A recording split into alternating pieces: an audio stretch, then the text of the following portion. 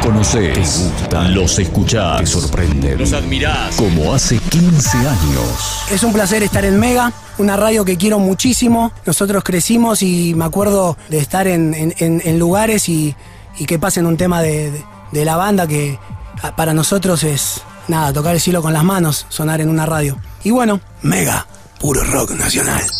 Toti, jóvenes por dioseros. 15 años. Mega 98.3. 15 años a puro rock nacional.